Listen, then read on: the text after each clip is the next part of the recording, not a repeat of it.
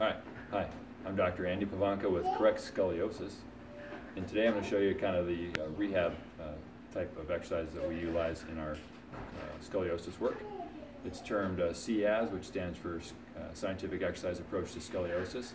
And there's a lot of different scoliosis specific exercise programs out there. We prefer the SEAS method because it, it is very research based. I think it has something like 66 studies behind it. Um, it doesn't require a lot of equipment for patients to have to utilize, um, and it's very easy to teach and very easy to learn. So the principle of the SEAS exercises is we're going to attempt to teach a patient a corrective position. Each scoliosis has certain postural presentations that, that a patient will come in with, or certain shoulder rotations and certain translations that go with most types of scoliosis. So our goal is to reverse those curves with our small little move, maneuvers which a lot of exercise programs do.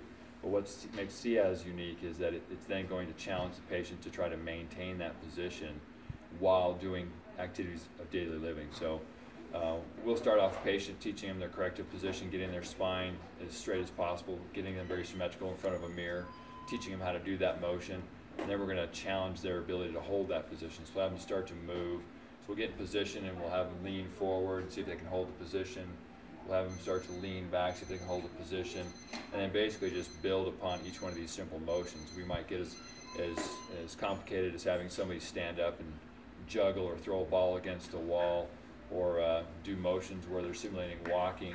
Um, but it's basically just trying to get someone to solidify and hold that corrective position in all the routines that they do on a daily basis. So um, it's, it's, a unique type of exercise program. Uh, it seems to be, at this point, the most researched of the methods out there and also has been shown to be a little bit more effective than all the other programs. So that's why we prefer to use the uh, approach.